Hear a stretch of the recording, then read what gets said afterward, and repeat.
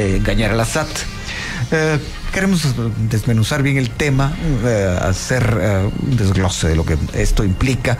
Y para ello dos expertos, uno presencial, otro por la vía telefónica. Aquí eh, en la cabina el licenciado Abel Cruz, vicerrector de la Universidad Mesoamericana y también consultor del Banco Mundial y, ex titular de la SAT. por la vía telefónica el doctor Abelardo Medina. él es experto en tributación y coordinación del área de análisis microfiscal del ICEFI y también fue superintendente interino de SAT. Así que, entre otras cosas, porque ambos han eh, ocupado diferentes puestos. Así que a, los dos, gracias por estar acá. Eh, licenciado Cruz, empecemos por una pregunta muy básica. Mm, ¿Cómo le explicaría a usted grandes rasgos lo que ha ido eh, encontrándose en el B410, que al principio, hay que recordar el dato, se hablaba de 300 millones de defraudación? Pero siempre se hace la comparación importante para que tengamos una idea, que la línea tuvo una, eh, el caso de la línea, en abril de 2016 tenía una eh, denuncia inicial de alrededor de 28 millones. Con, de lo que se supo desde el 14 para acá, ¿Qué, resumiría, qué evaluaría usted? Buenos días. Eh, buenos días, Luis Felipe, y, buenos días del otro lado de la línea, Abelardo.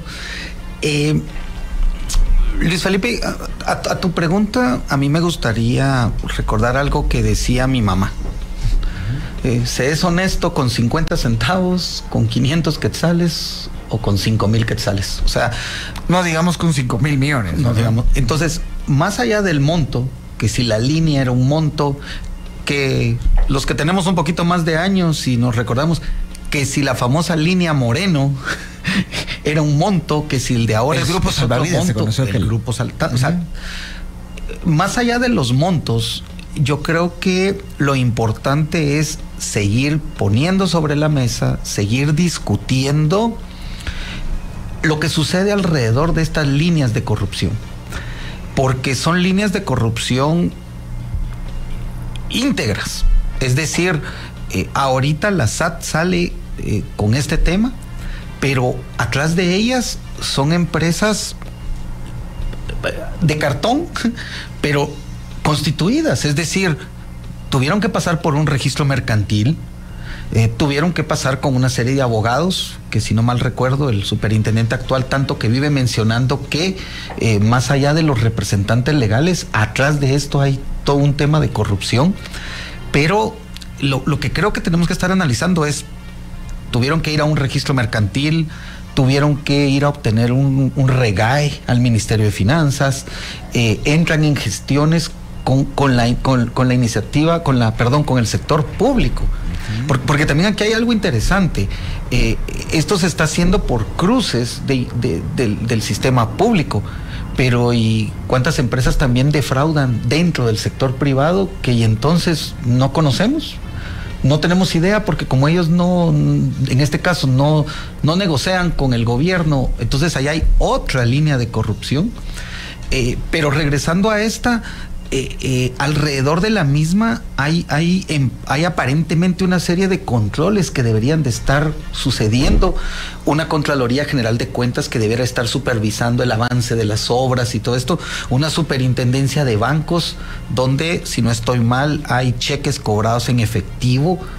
Eh, en el caso de 410 sí. entonces, creo yo, a tu pregunta, que más allá del monto, es muy importante estar discutiendo que, que, hay alrededor de este sistema de corrupción eh, tantas cositas. Entonces, no sé, los que hemos hecho administración pública, y, Abelardo no me dejará mentir, ah, bueno, para hacer tal cosa le piden a uno carencia de antecedentes penales, policíacos, colegiado activo, eh, el, DPI auténtica, o sea, son tantos papeles. Y entonces, ¿de qué sirve tanto papel si, si realmente no, no está habiendo una supervisión, un control y un seguimiento de contrataciones.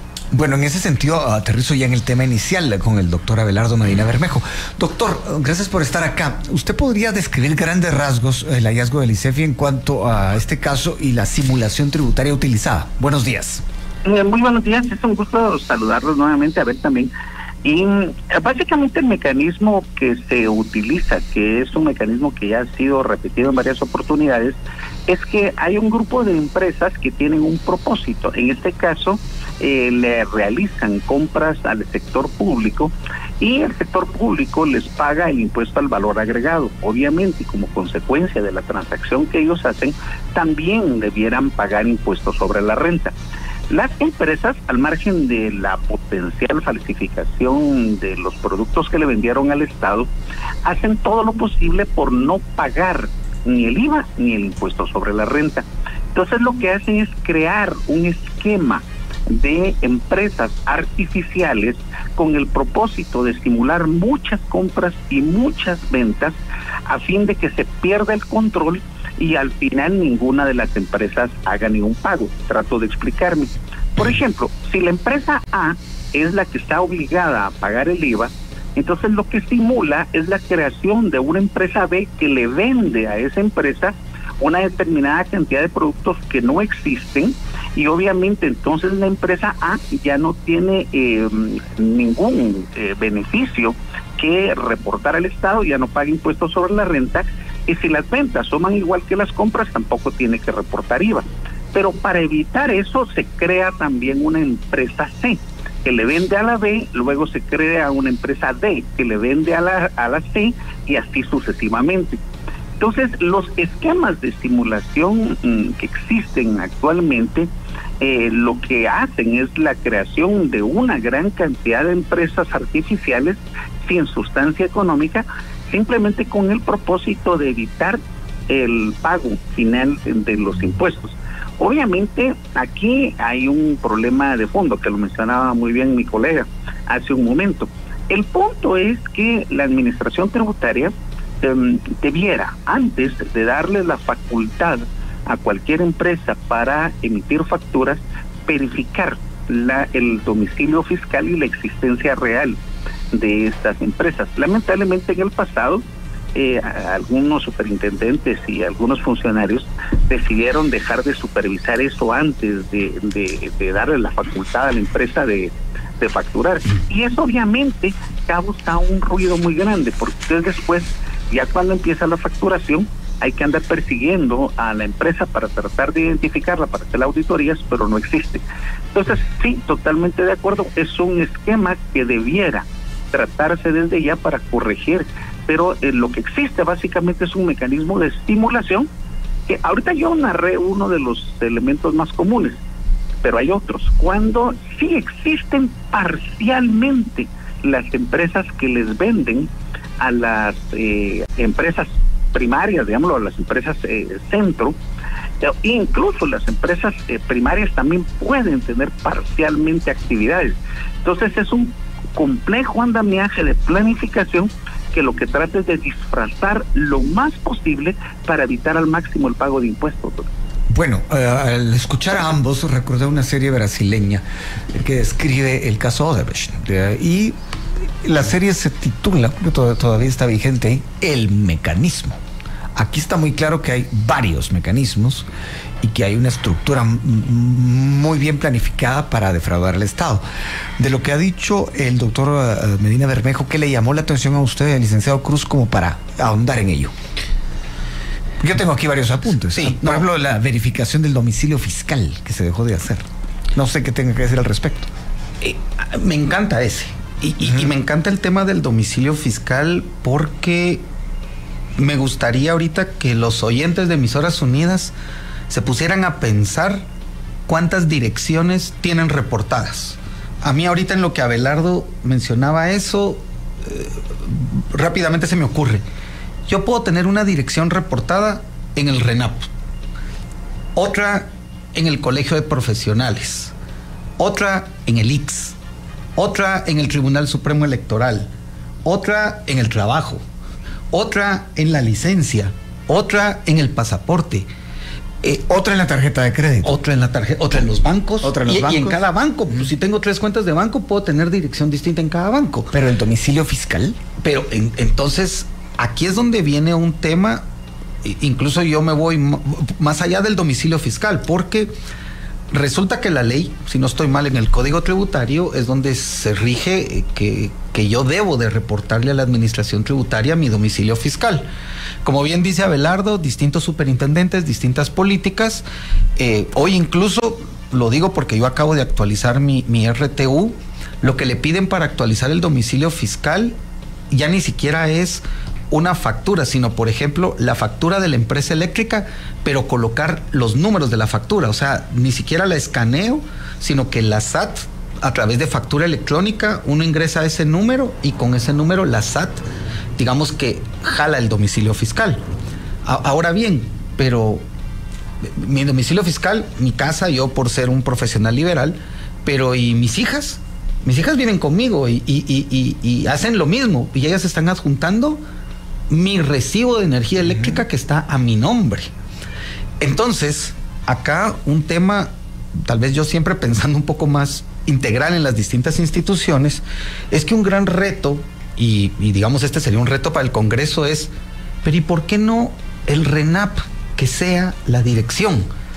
Que, que, que hoy en día el RENAP que tecnológicamente ha avanzado, que yo esté obligado a que al RENAP le dé mi dirección y que entonces con ciertos cambios legales, miren, disculpe, yo no me tengo que estar inventando en ningún lado. Eh, eh, eh, jale, jale, la, jale mi domicilio, que sea mi domicilio fiscal, mi número ante el IX, mi número ante todo. E, esa parte creo yo que instituciones como el RENAP, que ya tienen casi 20 años de existencia, debieran de, de ser los que ayuden a que entonces exista, digamos, una dirección. Entonces, de esa cuenta, un tema, como bien lo dice Abelardo, que el domicilio fiscal lo puede presentar cualquier persona, ahí ya, ya, iríamos eh, ajustándonos y por supuesto, a, mí me interesa luego para recibir mi pensión del IX, para recibir mi pensión del Estado, no me conviene esconderme. En cambio acá, pareciera que para unas cosas sí doy mi domicilio fiscal, pero para otras me escondo. Bueno, en ese sentido, doctor Medina Bermejo, eh, se dejó de verificar el, domicilio fiscal. ¿Es porque hay una gran cantidad de gente que se, precisaría para ello o fue negligencia? ¿Cómo lo ven ustedes? Mm, bueno, básicamente lo que hemos estado observando ya hace algún tiempo es una disputa muy importante en torno a la necesidad de avanzar en la simplificación de los procedimientos tributarios el, eh, la verificación del domicilio fiscal que se hacía en la primera década del, presente ciclo y que aún así eh, hay un problema con las corporaciones, lo, lo explico por qué, eh, es simplemente por el hecho de que las corporaciones no tienen en el sentido estricto una presencia física en el sentido estricto, sino que tiene que reflejarse a partir de una operatoria. Entonces, eh, las cantidades de corporaciones, de empresas que realmente son importantes para facturar en el país, no son muchas. Y eso es un tema muy importante. Actualmente en el impuesto sobre la renta de actividades lucrativas es una especie de cálculo del, del impuesto al valor agregado hay registradas 147 mil empresas, que son las que al final facturan. Pero las que se van inscribiendo todos los días y cada mes, estaríamos hablando lo que se inscriben cada mes serán unas 30 empresas.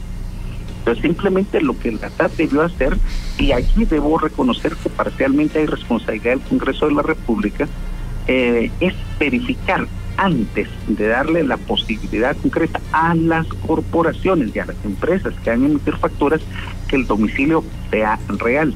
Eh, yo estoy de acuerdo con Abel en el sentido de que una eh, persona física individual puede tener múltiples direcciones, pero las corporaciones debieran tener una sola eh, eh, en un solo lugar. Y aquí obviamente tenemos un problema porque RANAC no controla las corporaciones. Y si nos damos cuenta, la mayor parte de empresas que, están vinculadas a este tipo de defraudaciones, eh, aun cuando pueden haber pequeñas, la mayor parte son empresas grandes.